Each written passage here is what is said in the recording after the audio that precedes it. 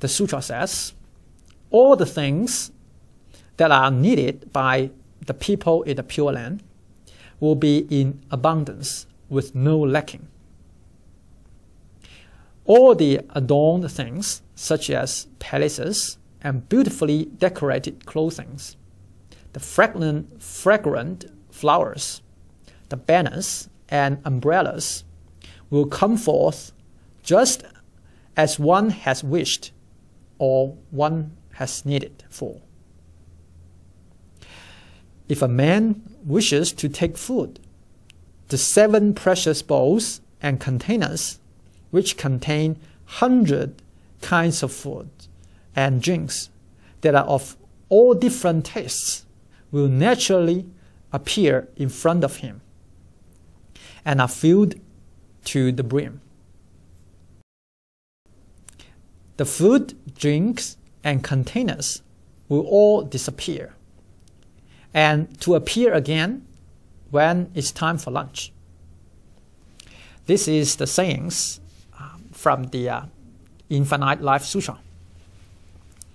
And we know a physical justification of this behavior in the Pure Land is that people in the Pure Land possesses highly advanced scientific power so that they create things out of energy if they need them and then convert these things back to energy.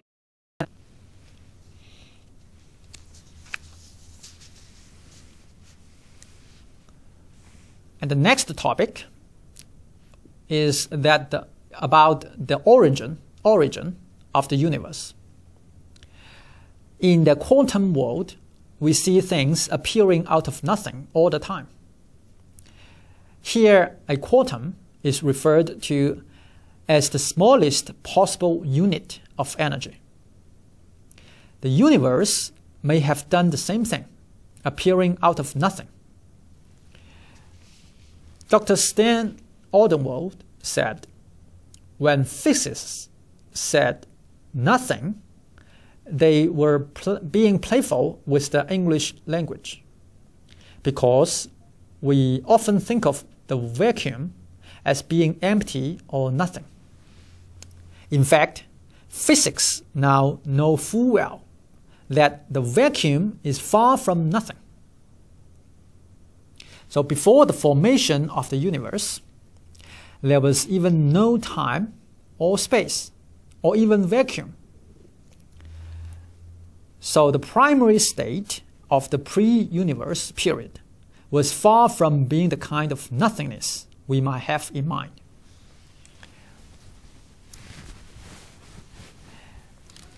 As uh, Stan Odenwald acknowledges, we don't have a full mathematical theory for describing this state yet, but it was probably multidimensional. The nothingness that, are, that give arise to the present universe was not nothing, but it was not anything like the kinds of something we can think of today we now have no words to describe it. And the ones that we borrow from the Oxford English Dictionary are based on the wrong physical insight. Buddha taught that the original state of the universe, referred as the true self nature, neither comes from somewhere nor goes anywhere. It is neither continuous or separate. It is neither dirty nor clean. It neither increases nor decreases. So as you can see, this explanation of the nature of the universe is better than that proposed by the space scientists. But despite this, the pre-universe state or what scientists call nothingness, is still obscure and incomprehensible to most of us. Let us put it aside for now and look at what happened at the moment of the formation of the universe. the widely accepted theory about the formation of the universe is, however, the theory, the theory is still being questioned, both in its detail and its essential correctness. We can now obtain some insights from this theory and don't have to accept the theory in its entirety. According to the Big Bang, our universe was created somewhere between 10 to 15 billion years ago from a cosmic explosion that threw matter in all directions. Before the explosion, there was no space and no time. Such a state is so removed from anything we know. Even the laws that govern the universe become totally obscure to scientists themselves. And Buddha used the terms unthinkable and inexpressible to describe this state.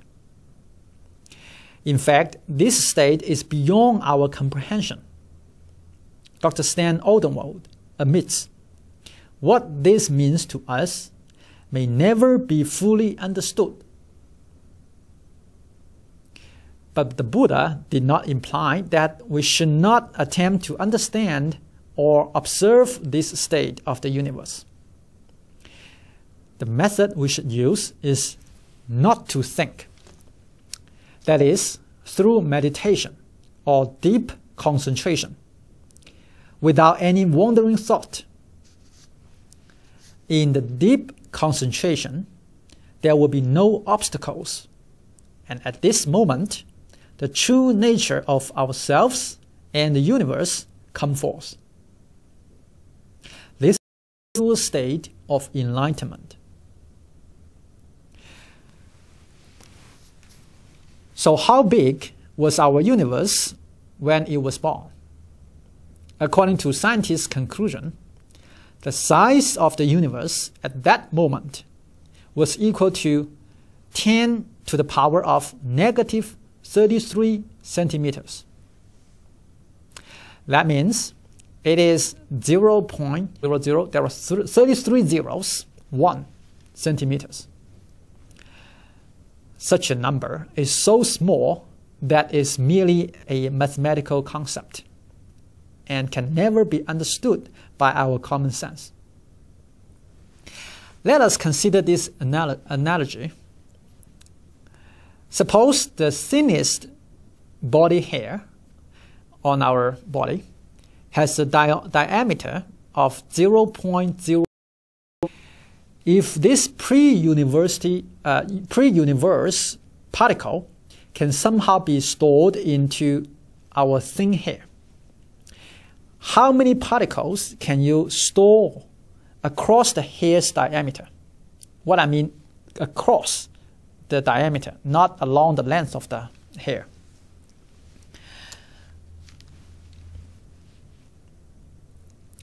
With some simple calculation, you can see that you can store 1 million of trillions of trillions of particles across a single hair. It is amazing. Our infinite universe once contained the same information as that tiny particle did. This information includes everything in the universe, including the, all the galaxies, the past, the present, and the future, including you and me. So it is so amazing. It is more amazing that your single hair can store so many universes across the diameter.